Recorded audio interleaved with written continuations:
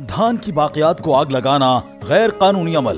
काश्तकार, धान के मुठों को हरगिज आग न लगाए। धान की बाकियात को आग लगाने से फिजाई आलूदगी में इजाफा होता है, जो ट्रैफ़िक हादसा और इंसानी जानों के लिए भी खतरा है। काश्तकार, धान की बाकियात को राइस स्ट्रॉ चॉपर, रोटावेटर या डिस्क हैरो के ज़रिए ज़मीन में दबा दें या गहरा हल चलाकर आधी बोरी यूरिया फ़ी एकड़ छट्टा करके पानी लगाएँ। खबरदार, धान की बाकियात को आग लगाने वाले काश्तकारों के खिलाफ कानूनी कार्रवाई अमल में लाई जाएगी। महकमा ज़रात हुकूमत पंजाब।